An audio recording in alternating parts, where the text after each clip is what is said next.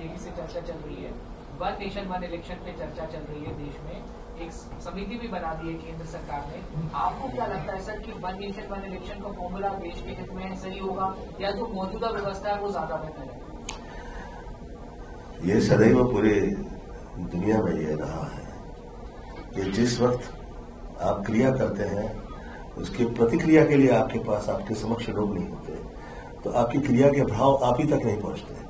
दूसरों का तो छोड़ दीजिए पक्ष और अपक्ष, ये सदैव रहा करें, ऐसा मेरा सोचना है। मैं कभी देखूँगा कि मेरी पिक्चर का जो अलग जो किरदार निभा रहा है, वो मेरी तरह नहीं एक्टिंग कर पा रहा तो मुझे लगेगा ये फ्लॉप है। ये मेरी अपनी सोच है पर्सनल सोच है। पक्ष की अपनी एक अलग सोच होती है। वो वो कह सकते हैं कि भाई हम हमारे अलावा और किसी के देखना नहीं चाहते। वो उनकी हो सकती है। पर मुझे एज एन आर्टिस्ट पूछेंगे या देश में कहेंगे तो मैं कहूँगा हर किसी का पर्सनल टच चाहिए थॉट चाहिए। जिसकी जहाँ रिक्वायरमेंट होगी, उसको वहाँ पर टॉप आए और जहाँ जो लगे कि भैया इसको टोकने लायक भी व्यक्ति सामने होना चाहिए, क्या ऐसा क्या आप ईश्वर थोड़ी ना हो गए? तो वो टोकने लायक व्यक्ति भी समक्ष आए। तो मुझे ऐसा लगता है, एक मंच प्रदान किया जाए, हर व्यक्ति विशेष को उसकी योग्यता के हिसाब से और उसे मौका दिया जाए कि वो दिल की कहे। तब तो मज़ा आए कि लगे कि भैया सामने भी तो आदमी है आपका आप ही आप है तो फिर क्या आप है? हाँ? दो हज़ार चौबीस में सनातन संस्कृति की बात भी चली है कृष्ण तो सनातनी है इस पर भी विषय शुरू हो गया हाँ हाँ। सनातन तो अच्छा ही है वो तो समुद्र की तरह है। हम लोग है ही हैं सब। और समुद्र जो है किसी से रोक टोक तो लगाता नहीं। वो अपनी विशालता का प्रमाण भी देता नहीं किसी से। और ये भी नहीं कहता कि तुम ठहरो तुम रुको तुम उधर नहीं मिलेंगे तुमसे नहीं मिलेंगे। वो तो मातृत्व वो भाव है। वो उससे बढ़कर तो कोई भी नहीं। मुझे ऐसा लगता है। सर कई कलाकार सर कई कलाकार राजनीति में जाने की बात कह रहे हैं आपको क्या रोके मैं क्षमा चाहता हूँ पहले इनसे। सर कई कलाकार राजनीति में जाने की बात कह रहे हैं, आपका क्या रोके मैं निकल के आया हूँ। और मैं 59 की एज हो गई है। अभी तक पार्टी हिली नहीं है।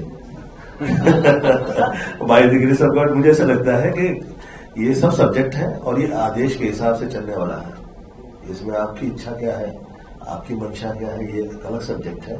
और आदेश क्या आ जाता है और आप कैसे जैसे चौदहवीं लोकसभा थी। तो उस वक्त मुझे देश के बुज़ुर्गों की तरफ़ से आदेश आया था कि गोविंद ये चौधरी लोकसभा तुम कर तो मैं किया अच्छे से किया।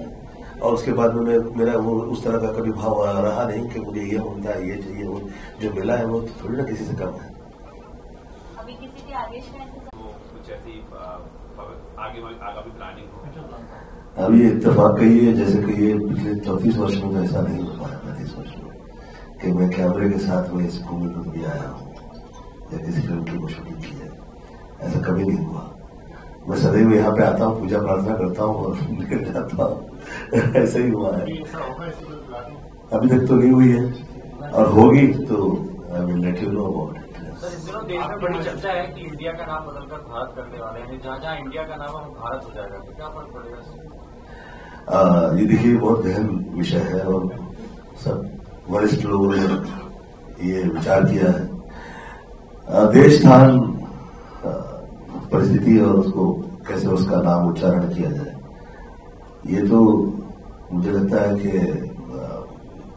बड़े से बड़ा नेता भी हो तो उसके उसे भी किसी धर्माधिकारी से पूछना चाहिए।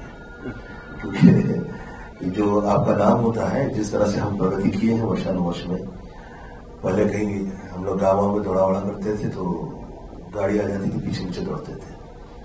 आज गाड़ी खड़ी करने जगह नहीं है कहीं पे और लोग उम्मीद करते हैं कि उसके बावजूद हम लोग पिछड़े हुए हैं। तो जिस वक्त मैं सब सुनता हूँ तो मुझे मैं विचार करने लगता हूँ कि ये क्या पिछड़ा वाला है। ऊपर वाले ने बहुत कृपा की है हम लोग पे। बहुत अच्छे से हम लोग आगे निकले हैं। वर्ल्ड में इस वक्त टॉप पे है। और वो टॉप की भूमिका निभाते हुए जो लोग सही समझ रहे हैं, उन्हें लगता है कि इससे किसी जगह पे उसका गलत असर नहीं होगा। तो ये तो धर्म का क्या नाम है ये? धर्म का विषय से निकलता हुआ विषय है। इस पे मुझे लगता है किसी व्यक्ति विशेष चर्चा ना करे तो अच्छा है।